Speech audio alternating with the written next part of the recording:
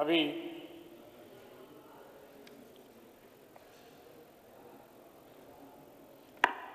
माननीय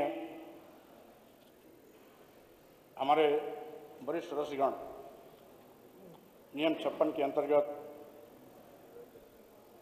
बेरोजगारी के औचित्य को यहाँ पर उठाया। जबकि मान्यवर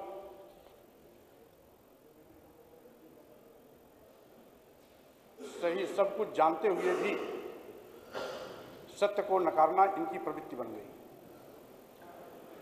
माननीय अध्यक्ष महोदय जी, माननीय योगी जी के नेतृत्व में जब से उत्तर प्रदेश में भारतीय जनता पार्टी की सरकार बनी, तब से लेकर के अब तक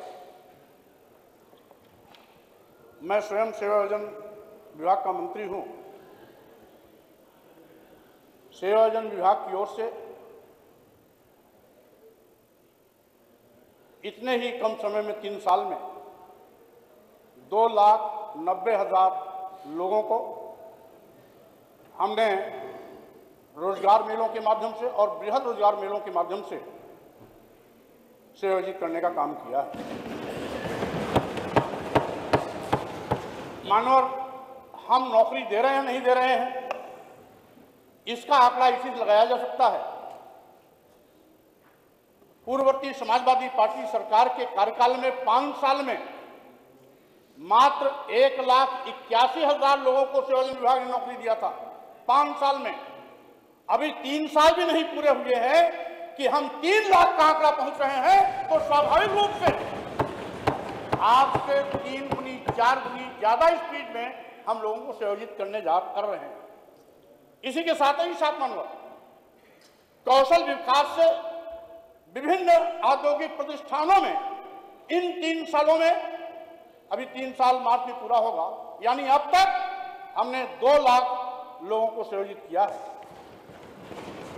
जो गवर्नमेंट आईटीआई कॉलेजेस हैं, उनके माध्यम से दो लाख छह हज़ार लोगों को अब तक हम विभिन्न औद्योगिक प्रतिष्ठानों में संयोजित करने में सफलता पाई है। इसके साथ ही साथ पुलिस विभाग में मान्यवर जो सरकारी की सरकार पर उंगली उठा रहे हैं, सरकार कुछ नहीं कर रही।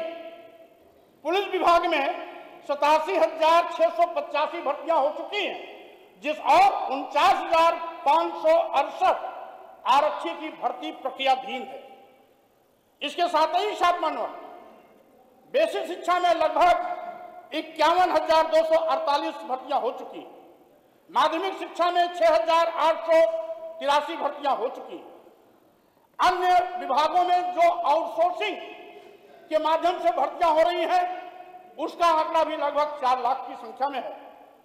इसके साथ ही साथ, अभी माननीय हमारे वरिष्ठ सदस्य ने कहा कि हम संविधान से भर्ती करते हैं तो इसमें बड़े बड़े जो नियोजक हैं इस पर भ्रष्टाचार करते हैं।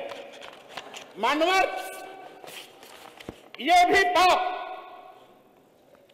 हमारे विपक्ष में बैठे हुए लोगों ने दिया केंद्र सरकार 2007 में 2009 में 2011 में, यानी पहला आदेश 17 दिसंबर 2007 को भारत सरकार, उस समय शायद केंद्र में कांग्रेस की सरकार थी।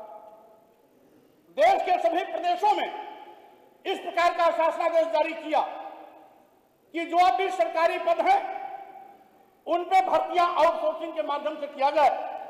ये सभी शासनादेश हमारे पास रखे हुए हैं। आपका आदेश होगा तो आपकी पीठ के सामने रख भी दिया जाए। तो पहला इसी क्रम में एक पत्र नहीं, कम से कम पाँच छह पत्र। यह 2007 से लेकर के 13 के बीच में इतने पत्र दिए आउटसोर्सिंग से भर्ती कराने के लिए। और मानव, हमारे विपक्ष में बैठे हुए लोगों ने जो पाप किया है, उस पाप को खत्म करके हम यहाँ पर रोज़गार का रास्ता प्रस्तुत कर रहे हैं। बड़े पैमाने पर लोगों को रोज़गार दिलाने का काम कर रहे हैं। यही नहीं मानना।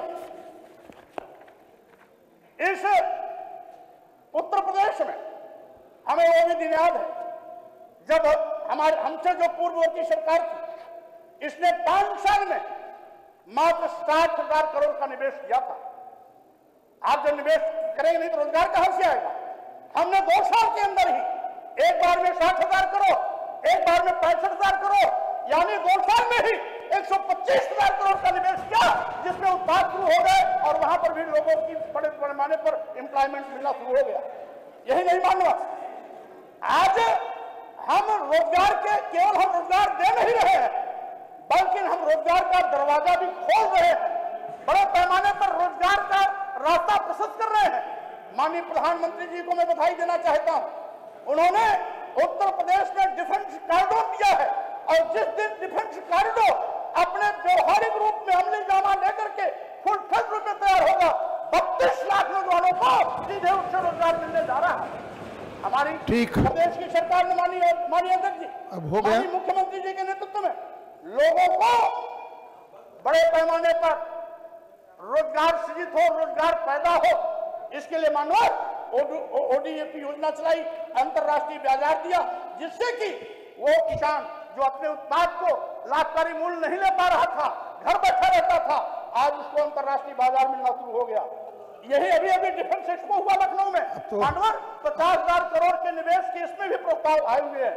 हम तो अनुरोध कर रहे हैं मानवर कि आज इस नियम छप्पन का कोई औचित्य नहीं है क्योंकि सारे के सारी इनकी बातें तथ्य के परे हैं और साथ ही साथ बड़े पैमाने पर रोज़गार का सृजन भी हो रहा है। हमारी सरकार रोज़गार देने का काम भी कर रही है और यह गति तेज़ी के साथ चल रहा है यही नहीं मानवा आपको मैं एक खुशी की बात बताना चाहता हूँ जो कभी नहीं हुआ था। अब तो ये नियम छप्पन 56 लायक है ही नहीं तब ज़िले में बृहद रोज़गार मेले के माध्यम से हमने अभियान चलाया हर ज़िले में। एक बृहद रोज़गार मेला। इस समय सदन चल रहा है। इसके बावजूद भी हमारे बृहद रोज़गार मेले चल रहे हैं। आज कम से कम डेढ़ दर्जन रोज़गार मेले में, बृहद रोज़गार मेले में खुद सम्मिलित हुआ हूँ। हम तो उनके घर और आँगन में जाकर के देश के जाने माने जितने भी उद्योग घराने अंतर्राष्ट्रीय जगत के जो हमारे कुख्यात सुविख्यात, जो हमारे उद्योगपति हैं, उनको बुला करके हम उनको कराने का काम कर रहे हैं। मानवर इसके माध्यम से, केवल आपके माध्यम से हम इतना कहना चाहते हैं।